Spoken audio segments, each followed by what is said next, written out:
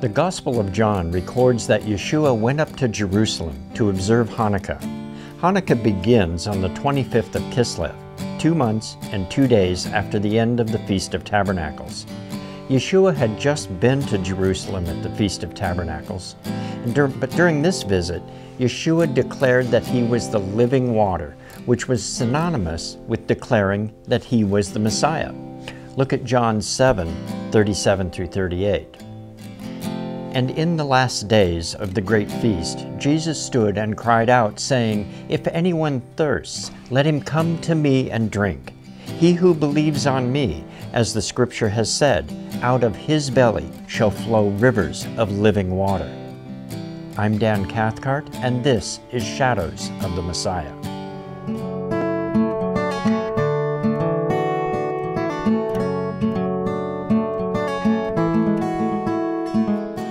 Looking back to the previous Feast of Tabernacles, the temple guard who were appointed to arrest Yeshua at the time, they came back empty-handed, declaring that no one had ever spoke the way that he did. We can find that in John 7, verses 45 and 46. And he said that he was the light of the world, as recorded in John 8, verse 12. He declared that he existed before Abraham, in John 8, 58. Yeshua showed himself the righteous judge in the case of the woman caught in adultery, as recorded in John 8, verses 1 through 12. And he healed a man born blind in John 9, 1 through 12. At the end of the Feast of Tabernacles, after Yeshua had healed the man born blind, the people were divided about who Yeshua was. Some said that he had a demon, and others believed that he was the Messiah. Look at John 10, 19 through 21. Then a division occurred among the Jews because of these words. And many of them said, He has a demon and is insane. Why do you hear him? Others said, These are not the words of one who has been possessed by a demon. A demon is not able to open the eyes of blind ones. So when Yeshua returned to Jerusalem two months later for the Feast of Hanukkah, they, they were still talking about who he was. Look at John 10, 22 through 24. And the feast of dedication took place at Jerusalem, and it was winter. And Jesus walked in the temple in Solomon's porch. Then the Jews encircled him and said to him, How long do you make us doubt? If you are the Christ, tell us plainly. So during Yeshua's time, Hanukkah was celebrated as a rededication and purification of the temple and was a reprise of the Feast of Tabernacles in a way. So at this time in history, the Jewish people were looking for a Messiah who would deliver them like Judah Maccabee did some 200 years before. They are anticipating and looking for the Messiah who would rid them of Roman rule and all of her pagan gods. So in a sense they were asking, are you the one? Are you going to deliver us like Judah Maccabees? And Yeshua answered and said that he did tell them, but they didn't believe him. Look at John 10, verse 25. Jesus answered them and said, I told you, and you did not believe. What was it exactly that Yeshua told them? Again, we look back at the Feast of Tabernacles just a few weeks earlier. So like Hanukkah is a reprise of the Feast of Tabernacles, so is it with Yeshua's teaching at this festival. He told them that he was the Good Shepherd spoken of by Isaiah and Ezekiel, and that he would lay down his life for his sheep. Look at John 10, 11 through 18. I am the Good Shepherd. The Good Shepherd lays down his life for his sheep, but he who is a hireling and not the shepherd who does not own the sheep, sees the wolf coming and leaves the sheep and runs away. And the wolf catches them and scatters the sheep. The hireling flees because he is a hireling and does not care for the sheep. I am the good shepherd, and I know those that are mine, and I am known by those who are mine.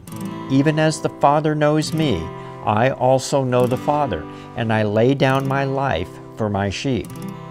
And I have other sheep who are not of this fold. I must also lead those, and they shall hear my voice. and there shall be one flock and one shepherd. Therefore my Father loves me, because I lay down my life, so that I might take it up again. No one takes it from me, but I lay it down from myself. I have authority to lay it down, and I have authority to take it up again. I have received this commandment from my Father. Again, Yeshua was citing Isaiah and Ezekiel. So first let's look at Isaiah 40, verse 11. He shall feed his flock like a shepherd. He shall gather the lambs with his arm, and carry them in his bosom, and shall gently lead those with young.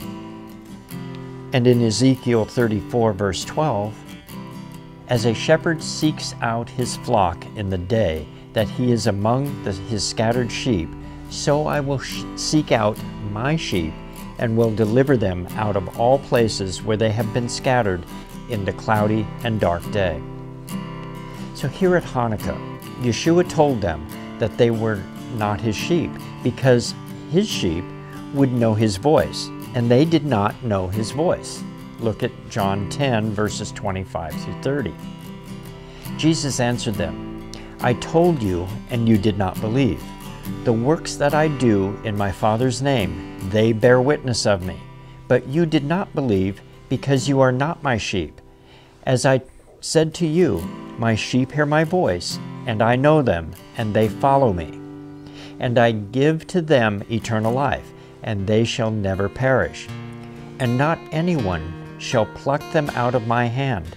My Father who gave them to me is greater than all and no one is able to pluck them out of my Father's hand.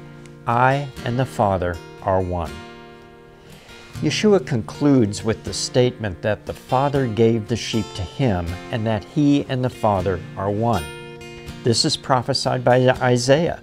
Let's go to Isaiah 44, verse 6. Thus says the Lord, the King of Israel and his Redeemer, the Lord of hosts I am the first and I am the last. Besides me, there is no God. After Yeshua's statement, the Jewish leaders in Jerusalem who questioned him had made up their minds. They concluded that Yeshua was not the Messiah, and that he is a false prophet and a false Messiah. Look at John 10, verse 33. The Jews answered him, saying, We do not stone you for your good works, but for blasphemy, and because you, being a man, make yourself God. Yeshua did not claim that he was the Father, but that he and the Father were one. In Yeshua's prayer in the Garden of Gethsemane, he prays that the believers may be one as he and the Father are one. And I have given them the glory which you have given me, that they may be one, even as we are one, I in them and you in me, that they may be made perfect in one and that the world may know that you have sent me and have loved them as you have loved me. Yeshua lived in submission to the Father. Look at John 7 16. Jesus answered them and said, My doctrine is not mine, but his who sent me. Yeshua's actions are the actions of a true prophet. He speaks only the words the Father gives him and does the work God gave him to do. In contrast, the priests who are advocating Hellenism and supported Antiochus IV Epiphanes a couple of hundred years earlier, and whose beliefs and practices are still pervasive in the Jewish society of Yeshua's time and especially among the temple uh, leadership, fit this description of the false prophet to a T. Let's look at Deuteronomy 13 1 through 5. If a prophet rises among you, or a dreamer of dreams, and gives you a sign or a wonder, and the sign or the wonder which he foretold to you occurs, saying, Let us go after other gods which you have not known, and let us serve them. You shall not listen to the words of that prophet or that dreamer of dreams, for the Lord your God is testing you to know whether or not you love the Lord your God with all your heart and with all your soul. You shall walk after the Lord your God and fear him and keep his commandments and obey his voice, and you shall serve him and hold fast to him. And that prophet or that dreamer of dreams shall be put to death. because he has spoken to turn you away from the Lord your God, who brought you out of the land of Egypt and redeemed you out of the house of slaves, to thrust you out of the way in which the Lord your God commanded you to walk. So you shall put the evil away from the midst of you. Yeshua's actions and words, on the other hand, fit the description of the true prophet, the one like Moses, that God would raise up for them. Look at Deuteronomy 18, verse 17. And the Lord said to me, They have spoken well that they have spoken. I will raise them up a prophet from among their brothers, one like you, and will put my words in his mouth, and he shall speak to them all that I shall command him. And it shall happen, whenever a man will not listen to my words, which he shall speak in my name, I will require it of him.